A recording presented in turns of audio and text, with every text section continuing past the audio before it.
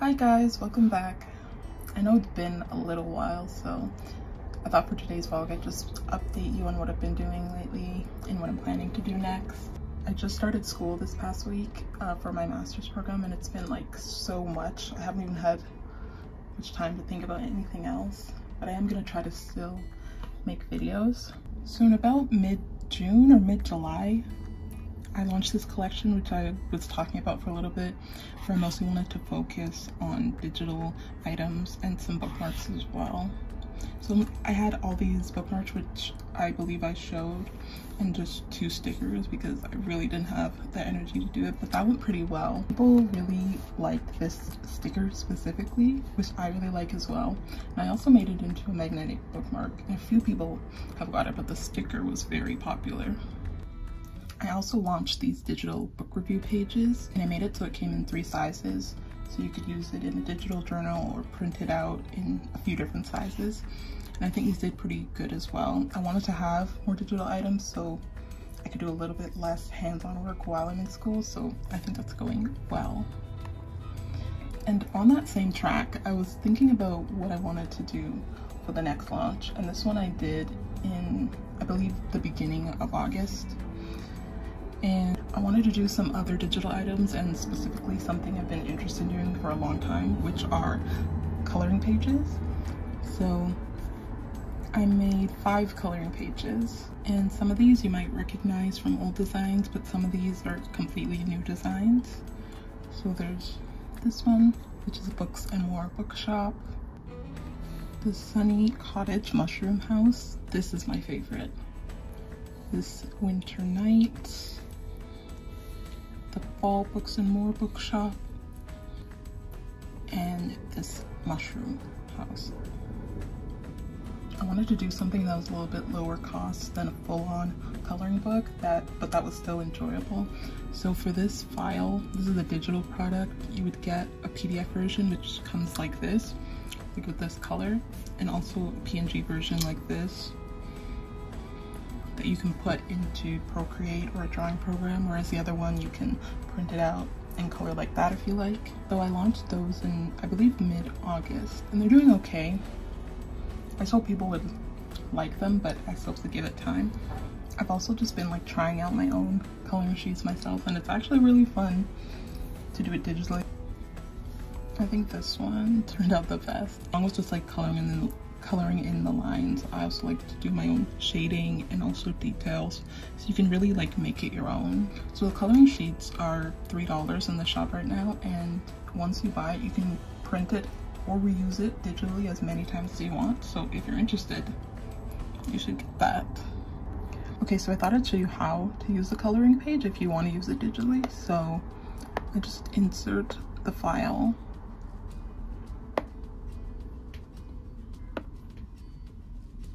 it should come up like that. And then I convert this layer to a reference layer. Now there's two ways you can do it. The first would be just by color dropping. So you make a new layer and put it under, and then you can just color drop. That could be what you want to do if you just really want to focus on the details. But for the other way, if you really just want to like color color, just add a new layer under. And color how you normally would. That.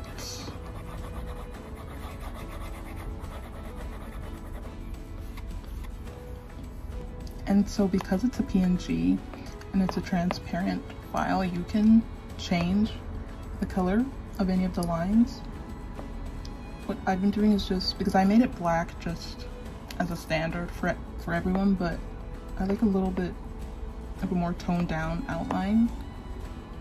So you can alpha lock it and make it a lighter color or really any color you want. Like that. So right now, still with the busyness of school and everything, I'm trying to do a little fall and Halloween launch. So one thing I did for that is make this fall coloring sheet.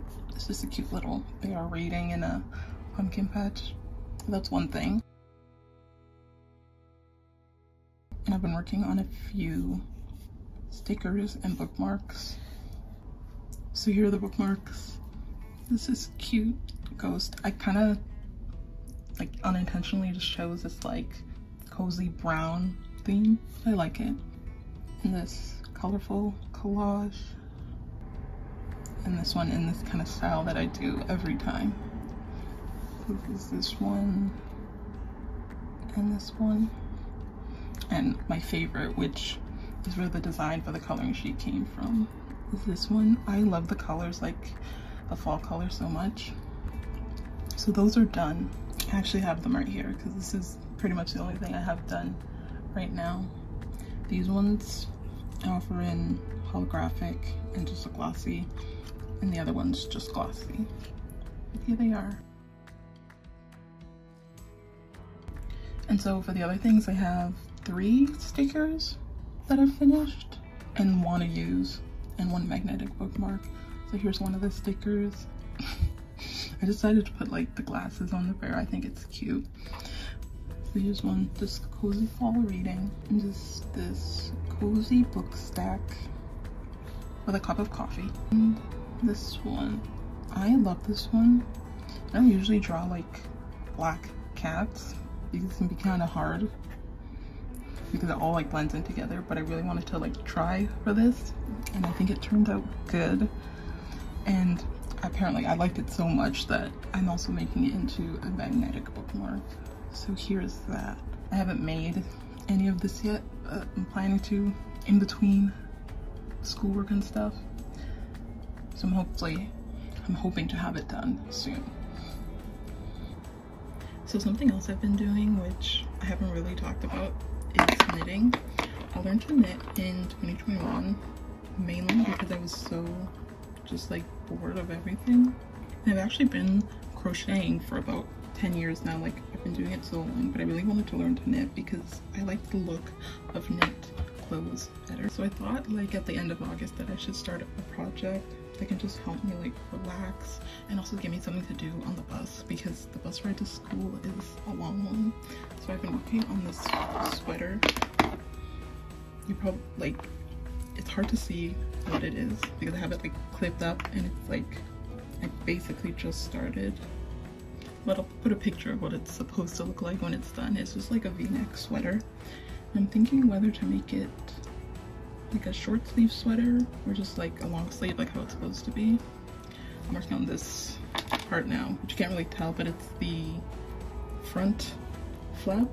So this would be the back and this would go over your shoulder and go into a v-neck. Just like curves down like that. And I just, this part's supposed to be the whole back. I just clipped it together because it's so long. Just so it doesn't go everywhere yeah, I've been working on that and it's just giving me like something to think about or do other than either school or my business, which is nice. What I'm gonna do now actually though is set up to take some pictures because don't know how much time I'll have later so I just want to take the pictures of the bookmarks now.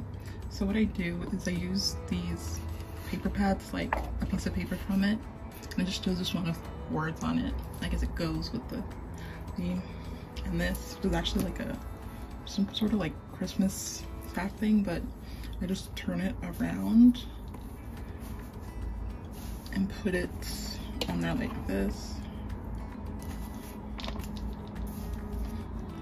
can take the bookmarks and put them in the middle so it kind of gets like both of them and the picture would be taken like obviously not including this just like cutting this out and I'll put a picture on the screen of what it would look like.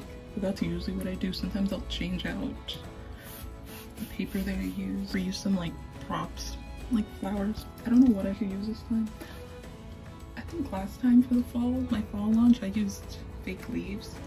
So I could use that again. We'll see. Okay, decided to actually just go try to dig up some fall stuff. I found these leaves and this pumpkin, so could use these.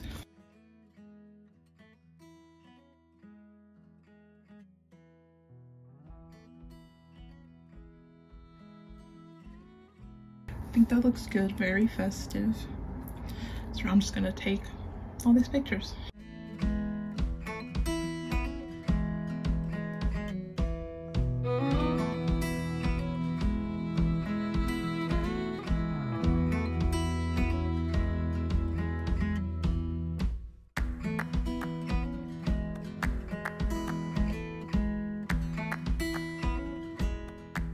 now that that's out of the way, to make the stickers and the magnetic bookmark and take pictures of those. Luckily, I found some time this week to actually write out the listing, so all I have to do is put it into Etsy and then put in the pictures and I'll be done. I think that's all I'm gonna be able to get to do today. So thank you so much for watching this video. I hope it was at least somewhat enjoyable and I hope you come back to watch more. Bye!